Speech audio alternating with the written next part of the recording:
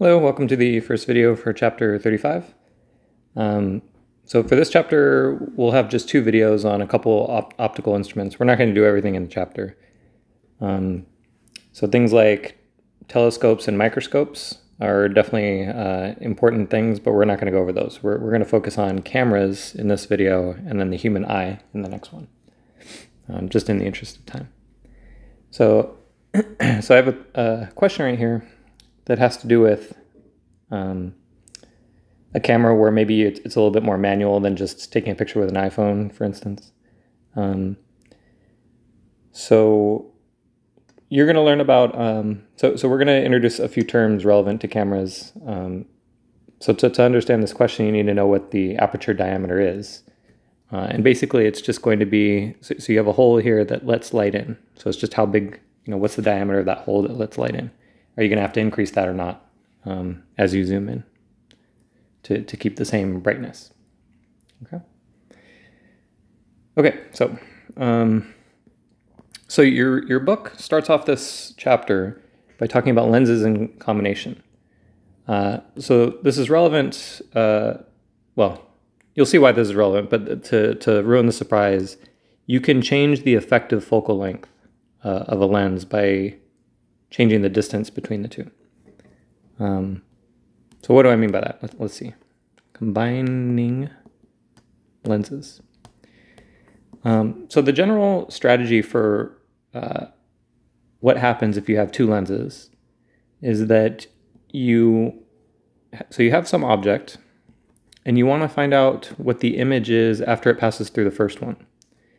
Okay, so, so the overall Overall, what we want to do is, if we have two lenses, we want to see what the image is after light passes through both of these lenses. Okay, so everything in chapter 34 dealt with just a single lens. Um, so for this setup though, and the way you, you normally want to analyze this is you, you take your object and you, so let's say the, the focus is here and here for this first lens. So first you just want to find the image uh, as you normally would so here are two of the principal rays. So it looks like we have we have an image that formed uh, right here. So it looks like it's a real inverted reduced uh, image. Okay, so that's the image. So right here, this is the image after the first uh, the first lens. But this acts as the object for the second lens. Also, this thing is the object for the second lens. Okay, so in other words, if you're if you were standing right here, um, all the light, so, so, assuming light has gone through that first lens, all the light that you receive um, looks like it came from uh, this this tip of the arrow right here, right? Uh, so all the light looks as though it emerged from this spot right here. Okay, so if you're looking at light that passed through here, you have no knowledge that this was the original object, right? This looks like the object. Um, so in particular, the light that goes through this lens right here, you have to treat this as the object. So this is going to, this light ray is going to diverge away. So maybe I should start using a different, uh, uh, different color for the light that we're going to treat it after. Um, Okay, so now this is our object. Now this we're just going to treat as a whole other object. So this light ray is going to diverge. So let's say that there's a focus there and there. Uh, and then this one passes right through. Um, so tracing this one back, it looks like we get an image right here. So it's reduced even more. So this is, so the, this, this uh, image right here, this is the image after um, this is the image when looking through both lenses.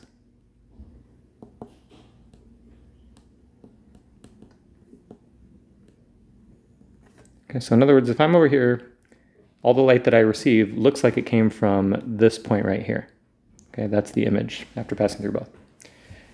So the general strategy is you find the image after the first lens, that image becomes your object, and then that object will um, form a new image after the second lens. Okay. So in problems of this sort, um, So your book defines uh, what's called an effective focal length. Um, and it defines it in this example right here. A reasonable definition of the effective focal length of this lens combination is the focal length of a single lens that could produce an image in the same location if placed at the midpoint of the lens combination.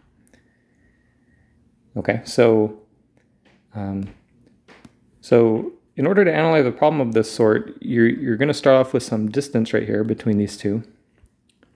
Um, so we could have just, uh, instead of um, these two, uh, instead of these two lenses right here, we could have started off with our original object, put a single lens right here, right in the middle, and then it's going to produce an image that's equal to the, the final image of this, which is this right here. So the question is, well, what's what's the effective, what, what lens would I have to put right here to get this image out from this object right here?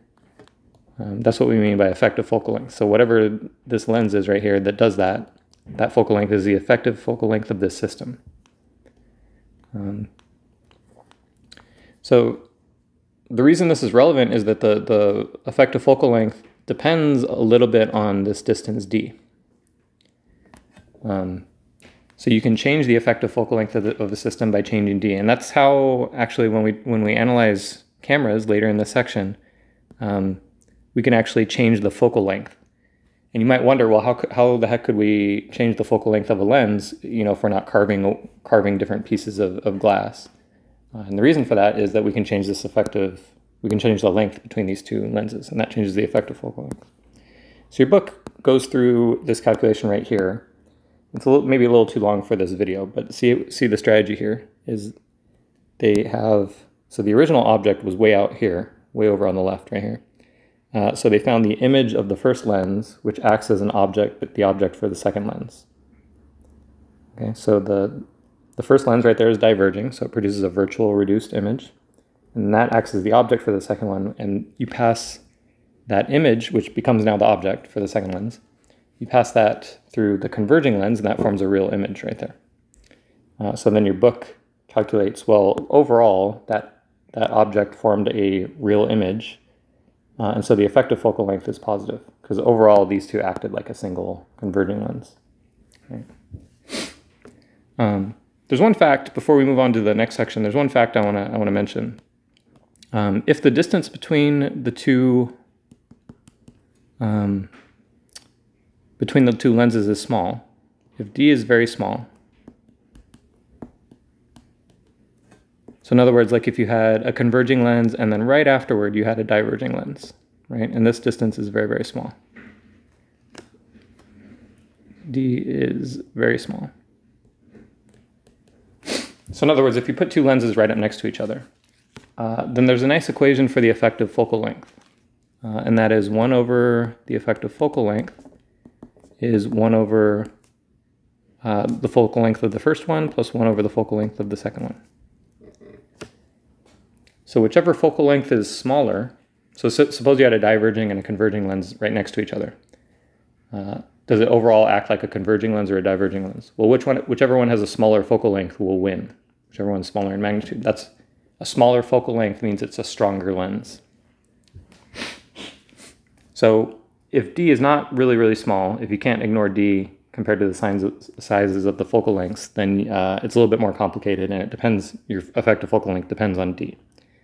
Um, so you might want to compare, like in this example, you could try to just plug it into that formula and you're going to get an F effective that's not quite 75 millimeters. It's going to be a little bit off because that, that distance isn't quite negligible. That distance is 60 millimeters right here. But if you redid the problem and instead of 60 millimeters between the two, it was uh, like one millimeter between the two, then you would uh, you could very quickly get F effective. Okay, cameras. Okay, so like I mentioned before, the, the reason this, this uh, previous bit was relevant was that we could change the focal length. So uh, a camera has multiple lenses. Uh, see right here, your, your book has a picture of the lens barrel. Um, so using the same two lenses, they just change the distance between those two lenses and it changes the focal, the focal point. Right? Changes the focal length. Um, so it says right here, a typical digital camera has a lens whose effective focal length can be varied from 6 millimeters to 18 millimeters. Um, yeah, so, so that can actually change the zoom, as, as we'll see. Um, so for a camera,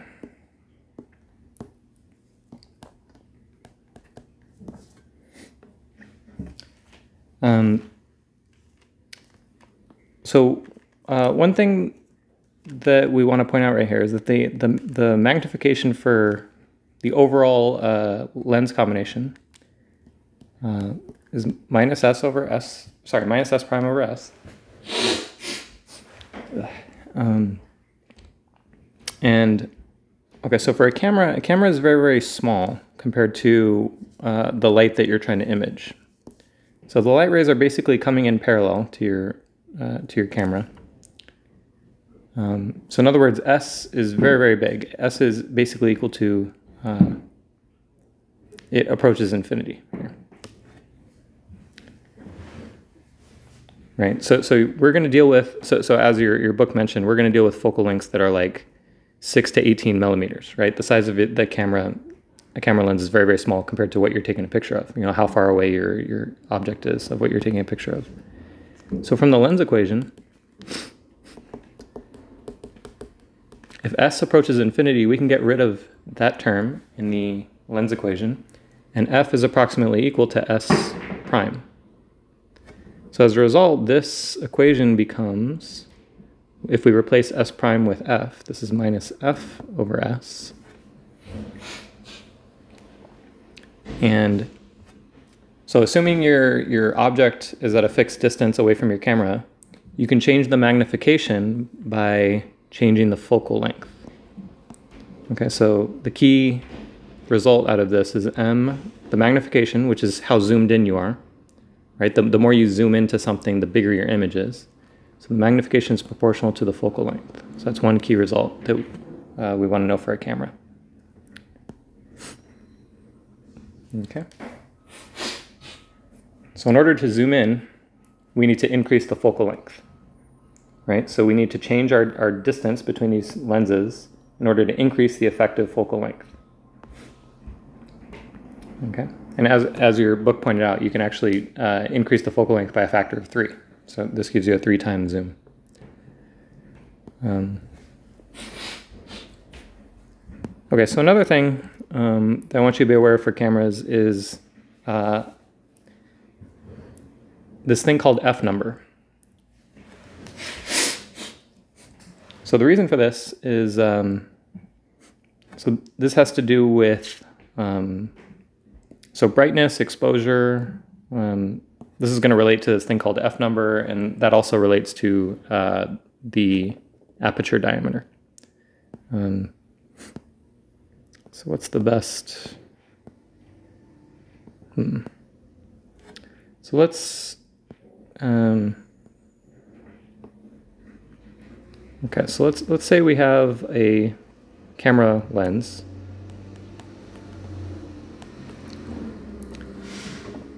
Um, so, and we're really, really zoomed in here. So, so like the, remember the focal length for a camera is very, very small. So that focal length is really, really small. So, so you have an object that's coming from very, very far away. So light rays are basically parallel right here.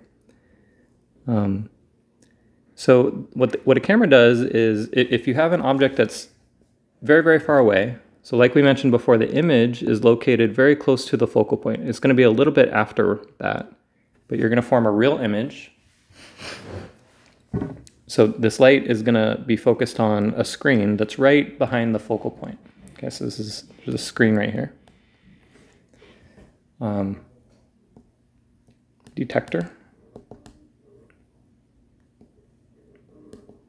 So this used to be film, but now there are um, fancy digital cameras where you, you have, uh, you know, CCD um, for, for the collector right here. Okay, so whatever you're imaging right here, um, it's going to be a very, very small image right here. Um, and that image size is going to be proportional to this focal length. So this is f right here. and the size of this arrow is going to be proportional to f. That's what we're saying because this is so this uh, the object is so far away. Um, okay, so the so I want to mention what happens to the brightness of the the image right here. Okay, so brightness. Um, the brightness is going to be proportional to 1 over f squared. So why is that? Um, so keep in mind that the screen right here is going to be two-dimensional, right? There, there's actually a whole whole screen right here, and so whatever the image is right here, it's spread out over over 2D. So suppose I, I increase the focal length by a factor of 2. Okay, that means that this arrow would increase by a factor of 2 in size. Um, that's for each length dimension. So, so the, the arrow would get bigger, and then it would also be twice as wide right here too. Um, you know, if there was some width of the arrow. So the area of the arrow being projected onto the screen is going to be four times bigger. That means the same, if, the, if we let the same amount of light through the camera, the more that light is spread out over, the smaller the intensity. Um, and in other words, the, the dimmer the light is. Right? So, um, so in addition to the, the focal length being relevant for the brightness, what's also relevant is how much light we let in, right? So there's actually a small opening here for a camera lens. Um, that's the, the aperture diameter. Okay, so this is going to be capital D is the diameter right here. So this is how much light we're letting in aperture diameter. So for in general, if we uh, aperture diameter d, uh, so this is going to control how much light we we bring in, and that's exactly what this picture is right here. So that there's a hole controlling how much light we're letting in, uh, and if we zoom in, because that because this image is getting spread out and getting dimmer, that light is getting spread out in area we want to let more light in. So brightness, in addition to being proportional to f 1 over f squared, it's also going to be proportional to the amount of light we let in, which is going to be proportional to the diameter squared. Right? It's going to be proportional to the area of that hole. And area is proportional to r squared or diameter squared. So uh, in camera lingo, uh, they call this thing, so this quantity f over d is called f number. So this is also 1 over something called f number squared. So uh, this quantity f number is equal to, it's defined to be the ratio f over d. Um, so this is a, by the way, this is a unitless number. Uh, and to make things even more confusing, they just uh, so a lot of times they, they uh, a camera will write the diameter. It'll, it'll, write the f number on the bottom. So like this right here. So f over four would be would mean that the f number is four. Okay, so let me give an example right here. So example, f over four. Um,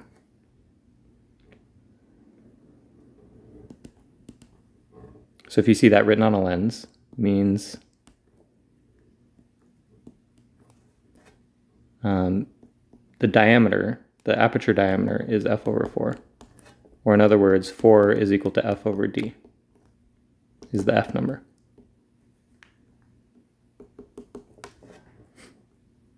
So there's a lot of lingo with the camera stuff. Um, so if you ever see f divided by something, um, they're telling you how big the the um, you can think of that. You could just set that equal to the aperture diameter, uh, and that's telling you what that f number is. So in a lot of problems, you might be told you know that you're changing something, but you're holding the f number constant. Um, so, and the reason, by, by the way, the, the reason I'm, I keep saying aperture diameter is that some cameras also say aperture when they actually mean f number. Um, yeah, the lingo the lingo is really confusing here. So so cameras will also call this uh, so camera enthusiasts, uh, people, call this aperture. Um, so so I'm, I will always say aperture diameter equals you know some number of meters. Remember, aperture diameter is a number of meters. This f number, or what uh, camera enthusiasts call just the aperture, is a unitless number. Uh, that's the ratio of the f over f over d. Um, yeah, pretty confusing. uh, so let's go back to, so let's apply this to our problem. Suppose you took a picture and it's the right brightness, but too, but you want to zoom in. You know, it's too zoomed out. You want to zoom in. Um, for your next pic, should you increase the aperture diameter or not? So let's see what needs to happen. If we want to zoom in, remember we want to increase the magnification. Uh, so we want to increase the focal length. Okay, so, so back to our, our original problem.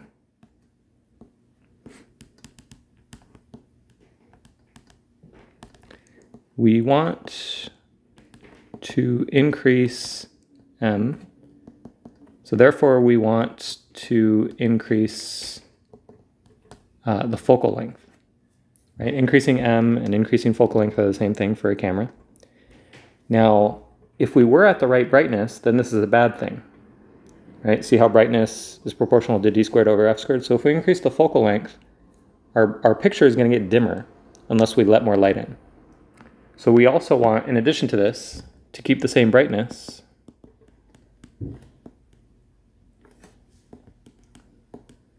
or in other words, to keep the same exposure. Um, to keep the same brightness, we want to uh, increase the diameter, increase the aperture diameter.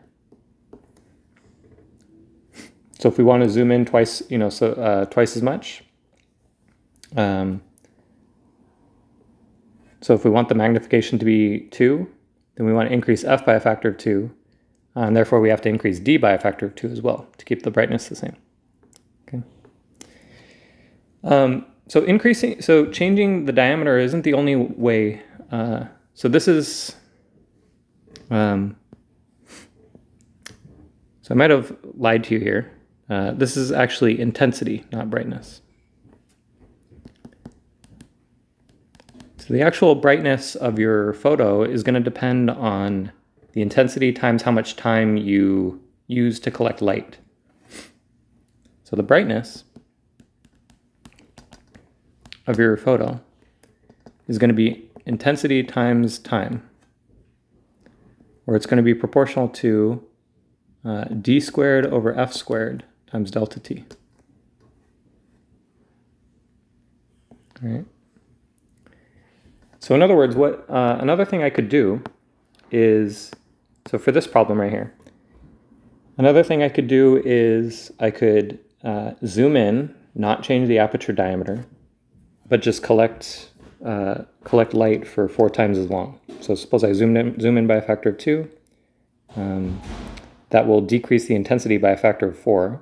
So I need to uh, have the shutter time uh, be four times longer. Uh, or in other words, shutter, shutter speed would have to decrease by a factor of four. So that can be dangerous with a camera because if you, uh, so if you take too long with the shutter, um, your picture not, might not be in focus, right? If you're moving the camera around and it's taking a long time to try and focus the image, then it might be blurry.